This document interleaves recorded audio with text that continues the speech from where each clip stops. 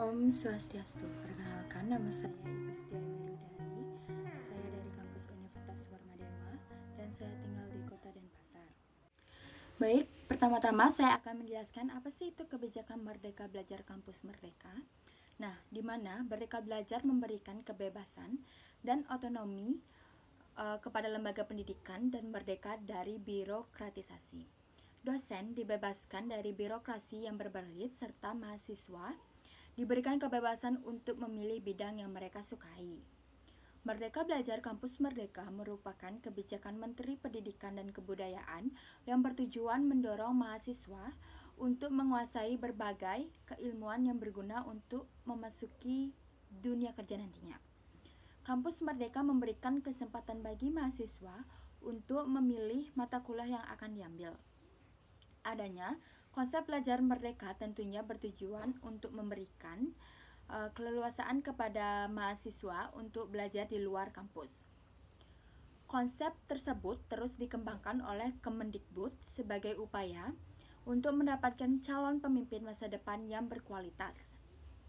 Konsep ini pada dasarnya menjadikan mahasiswa untuk lebih bersosialisasi dengan lingkungan di luar kelas. Pada dasarnya, kebijakan tersebut bertujuan untuk dapat mengenalkan adanya dunia kerja pada mahasiswa sejak dini, sehingga kemudian mahasiswa akan jauh lebih siap kerja setelah nantinya lulus dari sebuah perguruan tinggi yang tersedia. Dalam kampus yang merdeka sendiri ada empat kebijakan oleh Menteri Pendidikan dan Kebudayaan. Empat poin tersebut yaitu yang pertama, uh, kampus memiliki otonomi membuka program studi baru asalkan kampus itu memiliki akreditasi A dan B. Selain soal akreditasi, kampus bisa program studi baru jika setelah menjalin kerjasama dengan pertama perusahaan, yang kedua organisasi nirlaba, yang ketiga institusi multilateral, yang keempat ada universitas peringkat top 100 QS dan bukan di bidang kesehatan dan pendidikan. Poin yang kedua, yaitu terkait proses akreditasi lewat kampus, Merdeka Akreditasi bersifat otomatis. Sementara saat ini, akreditasi wajib dilakukan setiap lima tahun sekali. Lalu poin yang ketiga, Menteri Pendidikan dan Kebudayaan akan mempermudah perubahan dari PTN Badan Layan, Layanan Umum atau BLU menjadi PTNBH. Sebelumnya, yang dapat menjadi PTNBH hanya perguruan tinggi berakreditasi A. Poin yang keempat, yaitu yang terakhir, terkait sistem kredit semester atau SKS. Poin ini berupaya untuk mengubah definisi SKS yang tidak lagi diartikan sebagai jam belajar, namun diartikan sebagai jam kegiatan. Dalam program ini pastinya ada kelebihan dan kekurangannya. Yang pertama, kelebihannya menjadikan dunia perkuliahan lebih fleksibel karena tujuan utama dari program Merdeka Belajar adalah melepas belenggu kampus agar lebih mudah bergerak sehingga para mahasiswa bisa belajar lebih dalam mengetahui perannya sebagai mahasiswa dengan baik. Lalu kekurangannya, pendidikan dan pengajar yang belum terencana dengan baik. Prosedur pelaksana pendidikan dan pengajaran dalam uh, Merdeka Belajar belum mengulas tentang upaya peningkatan kualitas pendidikan yang dinilai cukup problematika. Baik, selanjutnya saya akan menjelaskan latar belakang mengapa saya bergabung dengan relawan mengajar. Uh, keadaan Indonesia saat ini sedang mengalami kondisi tidak baik disebabkan oleh virus berasal dari Wuhan, Cina yang dinamakan dengan COVID-19, yang menyatakan bahwa virus ini penularannya sangat cepat dan dapat menyebabkan kematian. Penyebaran pandemi virus corona atau COVID-19 telah memberikan tantangan tersendiri bagi lembaga pendidikan di Indonesia. Untuk mengantisipasi penularan virus tersebut, pemerintah mengeluarkan kebijakan seperti social distancing hingga pembatasan sosial berskala besar atau PSBB. Dalam upaya mengendalikan penyebaran pandemi COVID-19, pada pertengahan Maret 2020, pemerintah memutuskan untuk menghentikan sementara kegiatan belajar di sekolah. Uh, sekolah dianggap sebagai salah satu media yang berpotensi memperluas penyebaran COVID-19 karena adanya interaksi secara langsung antara murid, guru, dan orang tua dengan jarak yang dekat. Pada awalnya, kebijakan penutupan sekolah ini akan diberlakukan selama dua minggu. Namun, angka penularan pandemi ini uh, di berbagai daerah yang terus meningkat memaksa sekolah untuk menerapkan kegiatan belajar dari rumah atau BDR hingga saat ini.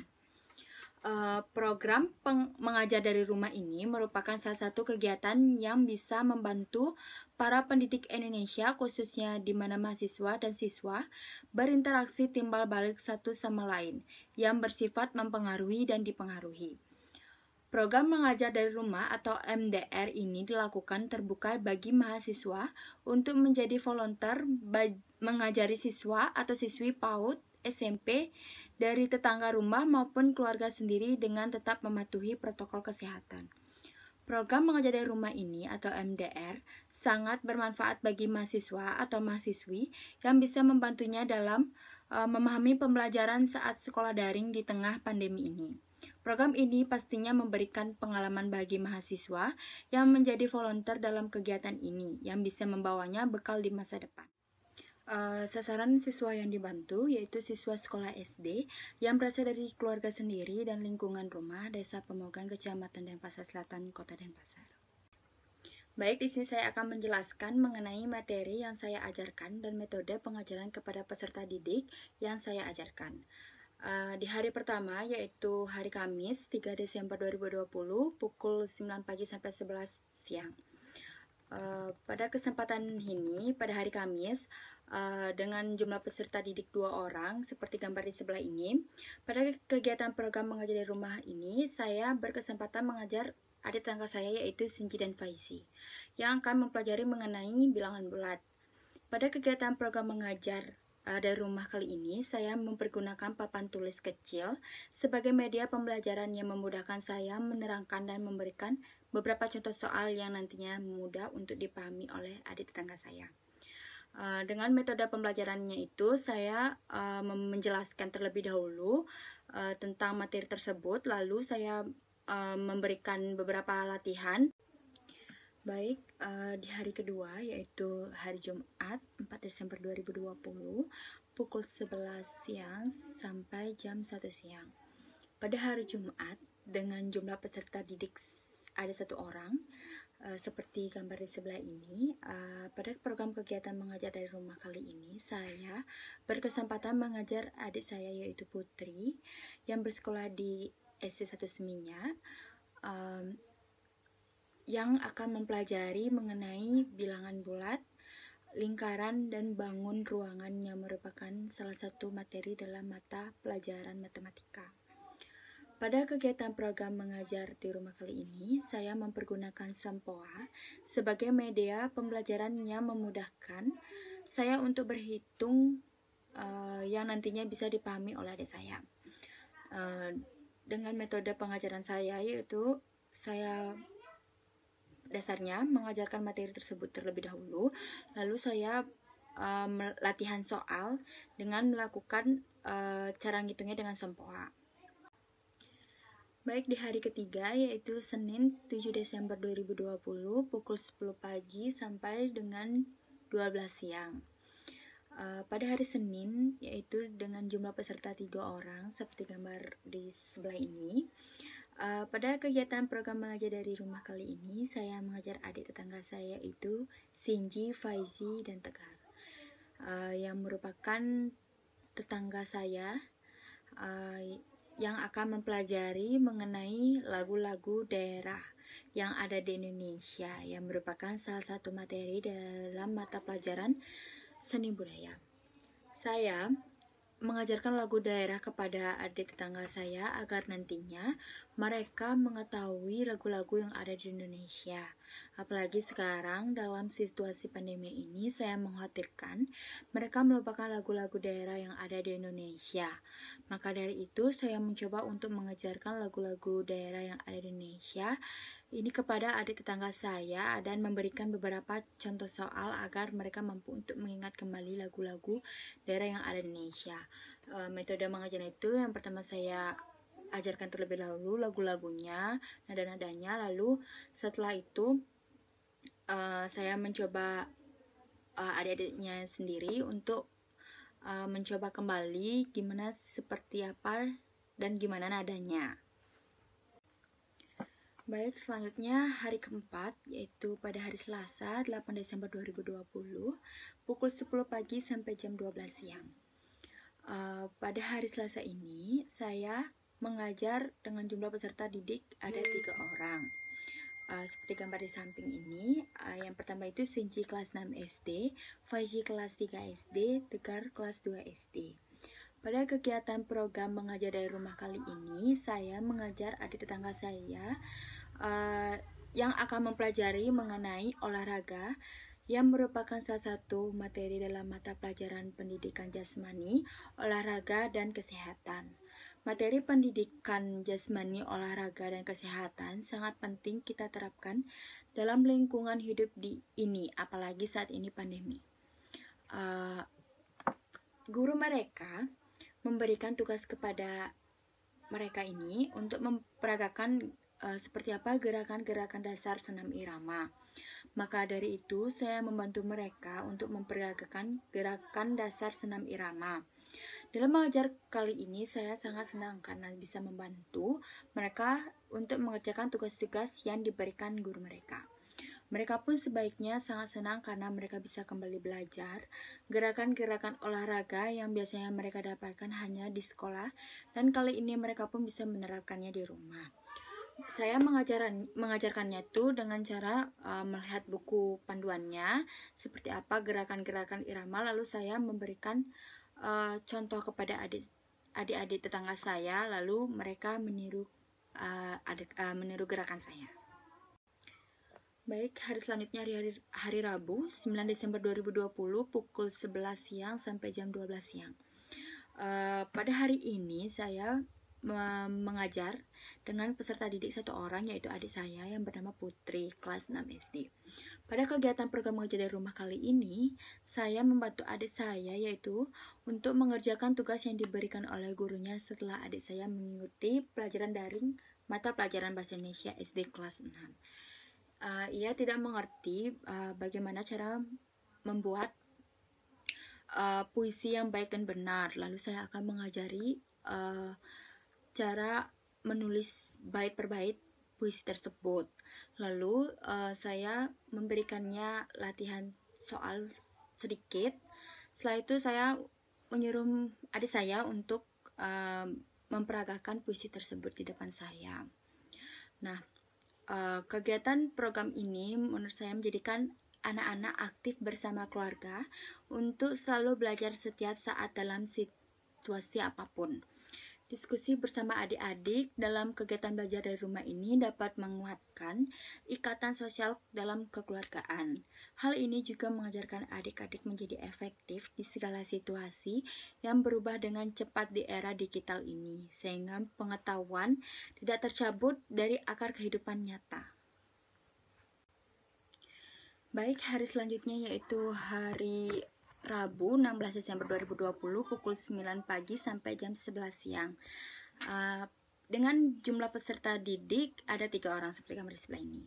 Pada kegiatan program mengajar dari rumah ini, saya membantu uh, adik tetangga saya untuk mengerti uh, pelajaran bahasa Indonesia uh, mengenai uh, teks proklamasi dengan uh, memberikan beberapa bagan mengenai apa, mengapa, uh, lalu ada siapa, bagaimana, kapan dan di mana. Hal itu, bagan tersebut itu menyangkut dengan teks proklamasi tersebut. Uh, lalu saya um, menyuruh mereka membaca, lalu saya menyuruh mereka satu-satu untuk mengisi bagan tersebut. Uh, seperti apanya itu apa ter, uh, eh, apa dan di mana teks proklamasi itu. Lalu uh, program ini membuat adik-adik lebih uh, senang dan bahagia karena kadang mereka mengeluhkan pembelajaran yang kurang ia pahami dan kadang tugas yang menumpuk menjadi alasan mereka malas untuk belajar. Pada program ini, saya dapat membantu adik tangga saya dengan pelan-pelan untuk memberikan materi-materi apa yang kurang mereka pahami. Ke depannya kegiatan program ini dilakukan harus tetap dilakukan agar adik-adik menjadi lebih giat belajar lagi mengingat situasi kondisi saat ini yang belum mereda saat sekarang. Baik, hari selanjutnya yaitu hari ketujuh, Kamis 17 Desember 2020, pukul 10 pagi sampai jam 12 siang. Uh, pada uh, kesempatan ini saya mengajar adik saya uh, satu didik, satu peserta didik uh, seperti gambar di sebelah ini um, melakukan pembelajaran mengenai teknik-teknik dalam menggambar. Dalam kesempatan mengajar kali ini, uh, Tujuannya yaitu dapat mengasah kreativitas anak. Jika dalam daring ini mereka tidak terbiasa dan tidak melatih kembali kemampuan menggambarnya, ia akan selalu sama dengan yang lain atau kata lainnya selalu meniru teman-temannya. Dengan ini, mereka bisa mengapresiasikan hasil karyanya terhadap guru mereka dalam mata pelajaran seni budaya. Maka dari itu, walaupun mereka daring pada kegiatan program mengajar di rumah inilah, bisa membantu mereka untuk lebih mengembangkan kreativitasnya walaupun sedang berada di rumah saja.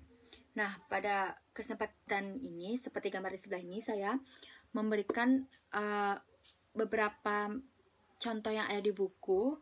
Dia harus membuat seperti apa, seperti arah-arahannya di buku, dengan alat-alat sederhana, yaitu pulpen, pensil, penghapus, dan pastinya dengan krayon. Nah, mereka melakukan kreativitasnya mereka sendiri hmm, sesuai dengan apa yang mereka punya atau ide yang mereka punya seperti itu. Baik, hari selanjutnya yaitu hari ke-8, hari Jumat 18 Desember 2020, pukul 7 malam hingga jam 9 malam. Pada kesempatan ini, saya mengajar dengan jumlah peserta didik satu orang seperti gambar di sebelah ini. Uh, saya berkesempatan untuk mengajar adik saya uh, mengenai sloka-sloka yang merupakan salah satu mata pelajaran agama Hindu. Uh, saya memulainya dari yang sederhana terlebih dahulu. Tahap ini yaitu menjelaskan arti dari masing-masing sloka tersebut. Mengenai sa, uh, mengenai arti tersebut saya uh, agak sedikit juga kurang paham. Jadi saya men-search di Google, lalu saya menjelaskan terlebih detailnya lagi kepada adik saya uh, dan uh, uh, menjelaskannya terlebih dahulu pastinya agar adik saya itu lebih mengerti lagi. Lalu kegiatan program ini menjadi solusi yang sangat tepat untuk sekarang ini mengingat adik-adik kurangnya pengetahuan yang kadang diberikan oleh gurunya pada pembelajaran daring sehingga program ini sangat membantu adik saya dalam mengerjakan tugas-tugas dari gurunya. Baik hari selanjutnya yaitu hari Senin tanggal 21 Desember 2020 jam 11 siang hingga jam 1 siang. Uh, pada hari ini uh, saya mengajar uh, dengan jumlah peserta satu orang saja seperti gambar di sebelah ini. Uh, pada kegiatan program Ajar dari Rumah kali ini, saya mengajak adik saya mengenai olahraga yang merupakan salah satu materi dalam mata pelajaran pendidikan jasmani, olahraga, dan kesehatan. Pada tahap ini, saya memulainya dari mengajarkan tentang gaya-gaya apa saja yang dilakukan saat berenang. Kendalanya mungkin agak susah karena tidak langsung untuk mempraktekkan di kolam, namun hal ini bisa diatasi. Uh, hal ini sangat penting karena uh, nanti ke depannya mungkin dia um, bermain dengan teman-temannya biar bisa dia memiliki teknik-teknik dasar dalam berenang. Pada, ada, pada awalnya saya mengajari dengan beberapa gerakan, lalu adik saya mengikuti saya lalu setelah itu saya uh, menyuruh untuk mengulangi kegiatan tersebut agar mereka agar adik saya itu paham dengan apa yang saya jelaskan yang tadi saya jelaskan Baik, hari selanjutnya yaitu hari ke-10, hari Selasa 22 Desember 2020, pukul 10 pagi hingga jam 12 siang. Uh, pada kesempatan ini saya mengajar dengan jumlah peserta didik ada tiga orang seperti gambar di sebelah ini. Nah di gambar ini saya menggunakan uh, media papan tulis untuk membantu proses mengajar kali ini. Kali ini saya mengajar adik tetangga saya, yaitu Sinji, Faisi, dan Tegar mengenai pidato yang merupakan salah satu materi dalam mata pelajaran Bahasa Indonesia SD. Saya mengawali dengan memberi contoh gerakan dalam berpidato dan memberikan beberapa kuis mengenai materi tersebut. Dalam kegiatan ini saat memberikan manfaat yang lebih bagi mereka bertiga yang perlu bimbingan lebih dalam situasi pembelajaran daring ini. Kedatangan saya dalam membantu adik-adik pun sangat disambut baik oleh orang tuanya karena ke depannya diharapkan proses kegiatan program mengajar dari rumah ini bisa lebih baik dan bisa terus dilaksanakan walaupun seandainya situasi normal sudah kembali. Pertama saya uh, mengajarinya dengan memberikan uh, pengulasan tentang pengertian apa sih itu pidato. Lalu saya mengajari bagaimana teknik dari berpidato dengan baik. Lalu saya um, menyuruhnya untuk um, berani untuk tampil di depan saya untuk uh, cara membawakan berpidato yang baik dan benar. Baik, hari selanjutnya yaitu hari ke-11, hari Rabu 23 Desember 2020, pukul 6 sore hingga 8 malam. Pada hari Rabu ini, saya berkesempatan untuk mengajar uh, peserta didik, yaitu satu orang, seperti gambar di sebelah ini. Uh, kegiatan program mengajar dari rumah kali ini, saya membantu adik saya untuk mengerjakan tugas yang diberikan oleh gurunya mengenai membaca cerita menggunakan tulisan aksara Bali yang merupakan salah satu materi dalam mata pelajaran bahasa Bali SD kelas 6. Uh, pada proses mengajar kali ini, saya menggunakan media papan tulis uh, agar uh, mudah dipahami. Seperti gambar di sebelah ini, saya menulis aksara A sampai akhir. Setelah itu, saya juga dibantu uh, dengan aksara yang ada di meja. Itu ada gantungan-gantungannya juga. Uh, kendala dalam uh, mengerjakan tugas ini mungkin karena ada aksara yang kurang bisa dibaca di dalam buku yang membuat susah untuk dibaca atau diartikan ke dalam bahasa Latin. Uh, namun hal ini bisa diatasi dengan mencari referensi mengenai aksara-aksara yang kurang paham melalui laman Google. Baik, uh, selanjutnya hari ke-12 yaitu hari Senin 28 Desember 2020 pukul 10 pagi hingga 12 siang. Pada kesempatan ini, saya mengajar uh, dengan jumlah peserta didik ada tiga orang. Pada kegiatan program mengajar dari rumah kali ini, saya mengajar adik tangga saya yaitu Shinji, Faizi, dan Tegar. Saya, seperti gambar di samping ini, saya uh, mengajar mengenai negara-negara yang termasuk ASEAN. Saya mengawali dengan memberikan pengertian mengenai apa itu ASEAN dan negara mana saja yang termasuk ASEAN. Kali ini, saya tetap menggunakan media papan tulis sebagai pembelajaran. Karena ini yang bisa membuat proses pembelajaran lebih efektif dan nyaman. Uh, pada kesempatan kali ini, um, memberikan dampak yang positif bagi saya dan adik-adik yang memberikan pengalaman dan bisa memberikan ilmu yang saya punya kepada adik-adik yang berguna ke depannya untuk mereka dan menumbuhkan interaksi sosial satu sama lain walaupun saat ini kondisi pandemi. Pada gambar di sebelah ini saya menjelaskan uh, negara apa saja yang termasuk ASEAN. Lalu setelah itu saya um, menyuruh adik uh, menyuruh uh, adik-adik tangga saya untuk mencari tahu uh, atau bisa menulis di papan menurut dia apa saja negara termasuk ASEAN. Baik, di sini saya akan menjelaskan bagaimana kondisi di awal saya mengajar dan setelah saya mengajar. Uh, perubahannya cukup signifikan. Yang pada hari pertama uh, di pra kegiatan siswa belum memahami uh, apa sih itu bilangan bulat. Lalu di pasca kegiatan, siswa mulai memahami bilangan bulat. Di hari kedua, siswa yang tidak menyukai pelajaran matematika, akhirnya uh, setelah pasca kegiatan, siswa mulai bisa memahami pelajaran matematika dan bisa untuk menjawabnya. Lalu, di hari ketiga, siswa yang kurang pasif tentang lagu-lagu daerah. Pasca kegiatan, siswa bisa untuk disuruh menyanyikan lagu-lagu daerah. Lalu, pra kegiatan di hari keempat, siswa tidak mengetahui gerakan-gerakan apa saja uh, yang ada di senam dan tidak suka senam.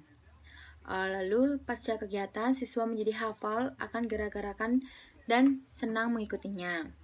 Lalu di hari kelima, uh, di pra kegiatannya itu siswa yang kurang mengerti pembelajaran saat daring pasca kegiatannya siswa mulai mampu mengerti dengan ilmu yang saya berikan dan bisa dimengerti lalu di hari keenam uh, prakegiatan, siswa kebingungan akan tugas yang diberikan oleh gurunya. Pasca kegiatan, siswa mampu mengerti dan dimaksud oleh guru mereka akan tugas yang telah diberikannya. Baik, uh, di hari ketujuh, prakegiatan siswa tidak bisa menggambar dan kurang akan kreativitasnya. Pasca kegiatan, siswa semakin kreativitas dan selalu menggambarkan ide-ide yang mereka punya. Di hari ke-8, pra kegiatan, siswa tidak mengerti arti dari sloka-sloka dari agama Hindu. Uh, setelah kegiatan, siswa mengetahui arti dan maksud dari sloka-sloka tersebut. Di hari 9, yaitu siswa tidak bisa dan tidak mengetahui apa saja gerakan dasar dalam lenang. Lalu di pasca kegiatan, siswa menjadi tahu dan ingin mencoba gerakan dasar dalam berenang. Lalu pra kegiatan hari ke-10, siswa tidak bisa berpidato. Pasca kegiatan, siswa mampu mempraktekkan gerakan serta berani untuk berpidato. Uh, di hari ke-11, uh, pra kegiatan, siswa tidak hafal tentang aksara Bali atau apa pun gantungannya.